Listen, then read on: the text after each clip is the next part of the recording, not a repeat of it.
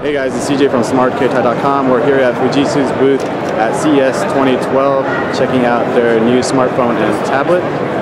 So, yep. so I'm James Maynard from Fujitsu, and um, at, at CES we're showing the world's thinnest waterproof smartphone at 6.7 millimeters, um, running the Android, Android platform. Um, the device is waterproof down to 1.5 metres for up to 30 minutes um, and we can demonstrate that in the bowl of water that we have here. So we can put that straight in. Um, the device is still functioning in, in the water. Um, remove that and then just straight back to the home screen um, and you can continue using that. But not only that, um, Fujitsu have been producing waterproof phones for um, four years now. Um, it's just the first time they've actually brought them to CES um, and demonstrated them. Um, so when they then produced a tablet device, it was only natural that that tablet device was also made waterproof. So this tablet is submergible again down to 1.5 meters for up to 30 minutes.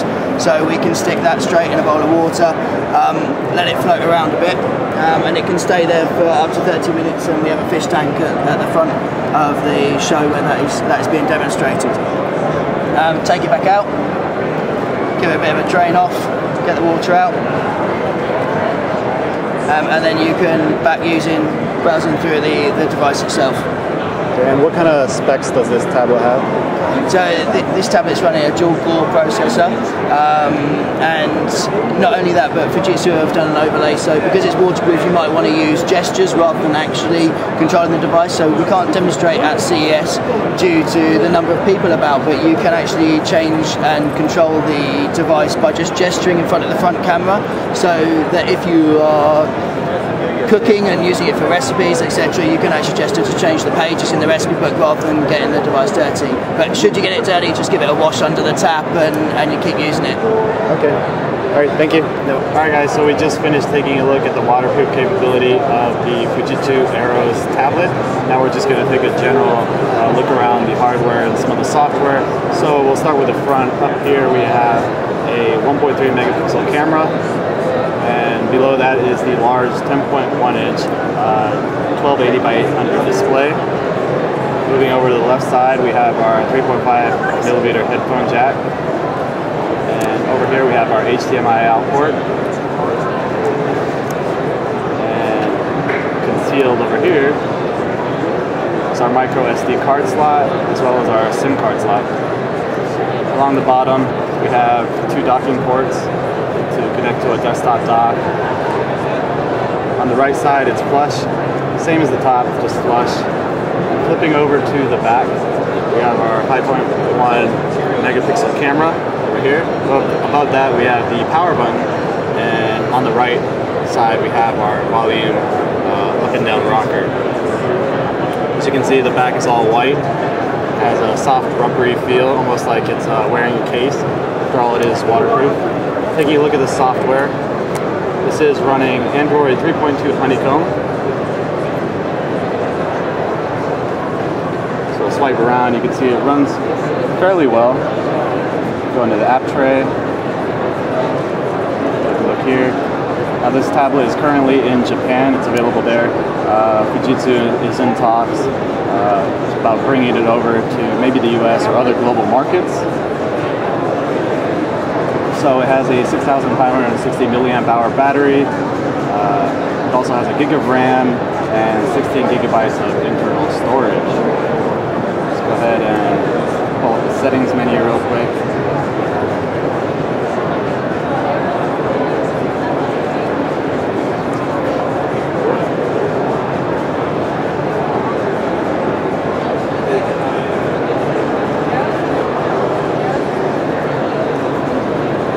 See it's running Android 3.2. Uh, assuming it's going to get an update to Android 4.0 Ice Cream Sandwich sometime down the line, but we'll have to see about that. So again, this was the Arrows tablet uh, from Fujitsu at CES 2012. All right, so moving on, we took a look at the uh, waterproof tablet from Fujitsu. Now this is the uh, Arrows F07D, Arrows U from Fujitsu. It's for NTT Docomo. And this is the world's thinnest smartphone at 6.7 millimeters. That's thinner than the Motorola Droid Razr was 7.1 millimeters, and we reviewed that earlier, so be sure to check that out. Uh, we'll start with the hardware. Of course, this is all waterproof, so every, everything is going to be cased in nicely. Uh, we'll start with the front. We have our 4-inch WVGA uh, resolution display that's AMOLED, and it's 480 by 800. Down here we have our three hardware buttons. On the right side we have a power button, volume up and down rocker. On the bottom it's flush, except for a microphone. And on the right side we have our charging port. Again, everything is cased in nicely, maintain that water resistance factor. And then over here on the top we have 3.5 millimeter headphone jack and on this side, you actually have an antenna. And I'm assuming that's for your uh, TV capabilities.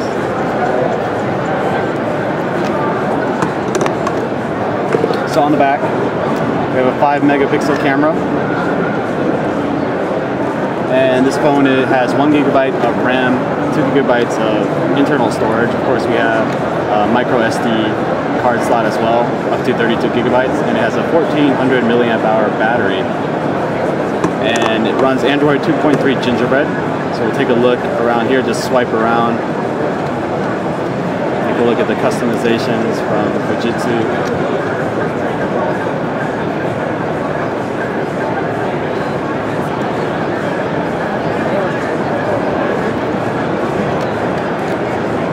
Change into grid mode